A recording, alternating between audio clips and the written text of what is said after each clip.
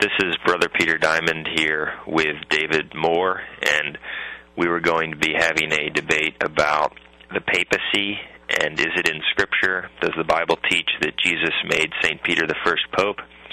He's going to be arguing that the Bible does not teach that. I will be arguing the other side. So, did you want to begin with a short opening statement, or? Um, yeah, it's uh, any opening statement about the papacy. Uh, is, is papacy is a very definitive issue. Obviously, without the papacy, there there isn't any Catholic Church as we know it, or have ever known it. So it's kind of a defining issue. It also ties into the one true church thing because without that, it doesn't have the claim to the one true church. Um, obviously, there is one true church. The Bible says universally, made up of all true believers, uh, collectively known as the church or the body of Christ. But uh, the Catholic Church's claim to be that church I think can be shown to be uh, false. Uh, according to the Catholic Church, one must follow only Peter and the apostles and their successors, and there isn't any salvation outside the Catholic Church, they say. Um, it should be pointed out earlier that the, the phrase like Holy Mother Church and everything is, is that they use so much is not found in Scripture at all. The, the only thing that's close to that is Galatians 4:26, where it says, "But Jerusalem, which is above, is free, which is the mother of us all. That's the only mother that the church has ever said to have. Uh, the heavenly city, New Jerusalem, not the church or not Mary or anything. I do hold that the church is invisible and not visible. Um, but I had a, let's see, uh, kind of a question about the one true church thing. Um, perhaps, yeah, make you can make your statement, and then we'll uh, we'll start with questions and stuff after that. Okay. Um, there is absolutely no doubt that St. Peter is the leader of the apostles.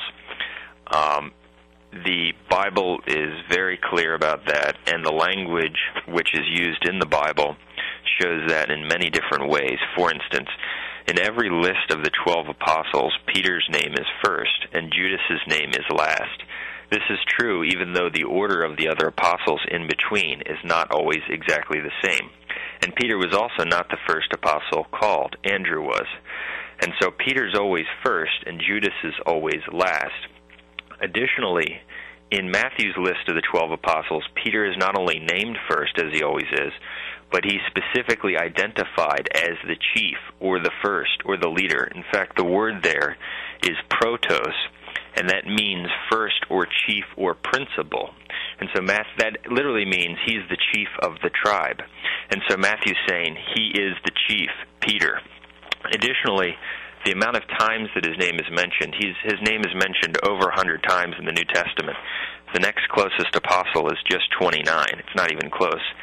And then we look at some of the other examples of how his name is used throughout the Gospels, throughout the Acts of the Apostles. And I'll just give a few quick examples. Like in Mark 16:7, he says, "But go your way, tell his disciples and Peter." Okay, the language over and over again singles out Peter from the rest. It's the apostles and Peter. Uh, Acts 2:37 he said unto Peter and to the rest of the apostles Acts 5:29 then Peter and the other apostles answered and said Mark 1:36 and Simon Peter and they that were with him okay and then we look at and we'll talk a lot about I think the main verses uh, Matthew 16 where he gives the keys of the kingdom to heaven, or he says that he will give to St. Peter alone, even though all the other apostles are there, the keys of the kingdom of heaven. And he says, Upon this rock I will build my church. Whatever you bind on earth shall be bound in heaven. Whatever you loose upon earth shall be loosed in heaven. In John 21:15 to 17, he entrusts his sheep, his whole flock, to St. Peter. Feed my lambs, tend my sheep, feed my sheep. And the sheep, of course, are clearly the members of his church. And in Luke 22, he says that Satan has desired to sift all of the apostles. But I have prayed for you alone, St. Peter, that thy faith fail not. So those three huge, devastating examples or devastating verses to illustrate the point that St. Peter's the leader, he's the, the by the institution of Christ, the uh, leader of all the apostles, the head of his flock, by his institution. Then just a couple of other things I'll mention, and then I'll let you respond. That throughout the Acts of the Apostles, we see Peter's leadership in the church. For instance, the first Gentile convert, Cornelius, in Acts chapter 10.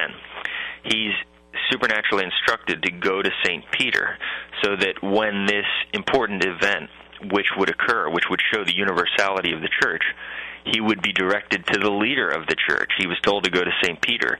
The vision that the old law's restrictions against unclean foods has ended, which we also read about in Acts 10, is given to St. Peter. It's a revelation, much like Jesus says that uh, God the Father revealed to him about uh, Jesus being the Christ, the Son of the living God. Clearly, St. Peter clearly has the primacy at the Council of Jerusalem in Acts 15. He's the first one to speak. When he speaks, everyone is silent. Um, he metes out the discipline of the church in Acts 5 against Ananias and Sapphira, and many other examples. So he's clearly the leader. And the last thing I'll say is that even Protestant scholars who have clearly dug into the text um, even though they don't believe all the Catholic teachings about the papacy, they admit there's no doubt that St. Peter is the leader of the apostles.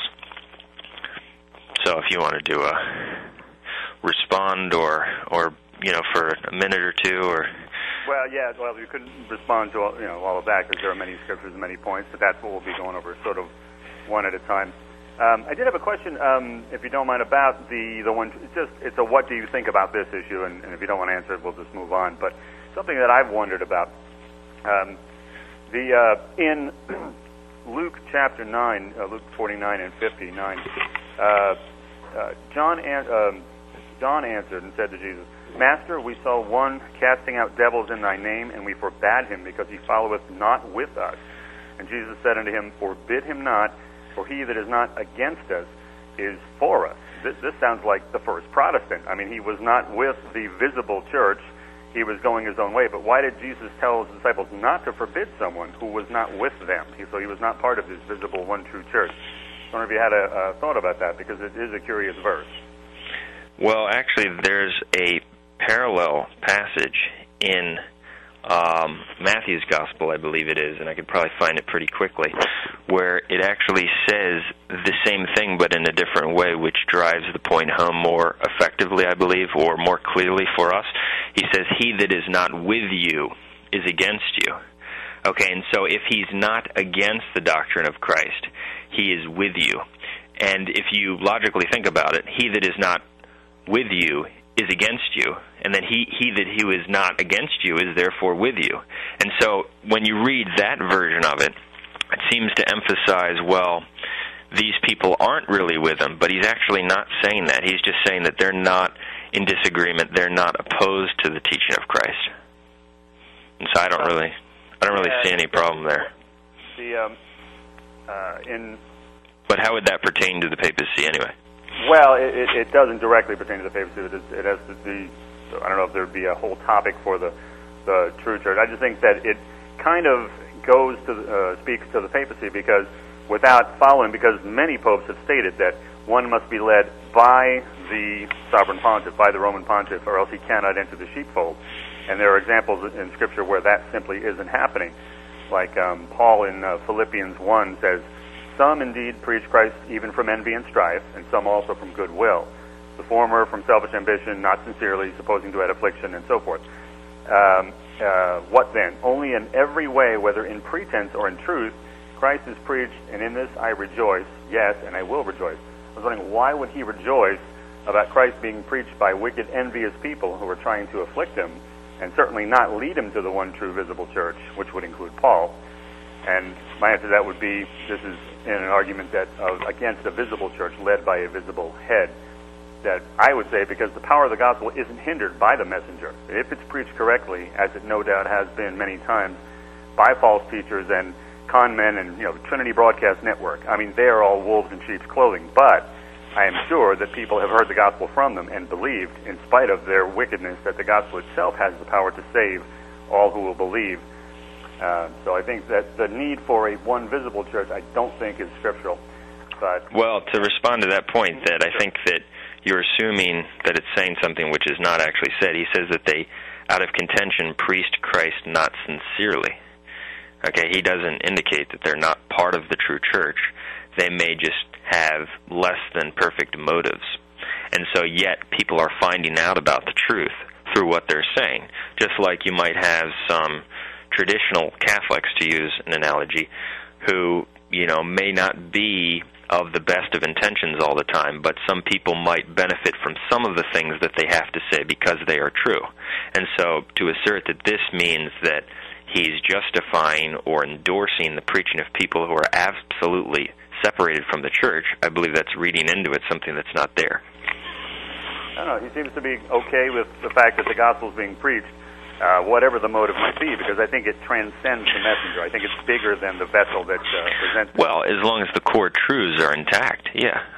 I would I would agree that that's it's important for people to benefit from that, and that people can benefit from that, despite maybe less than uh, ideal intentions of the people who are always preaching it. So I don't really I don't see how that presents any problem.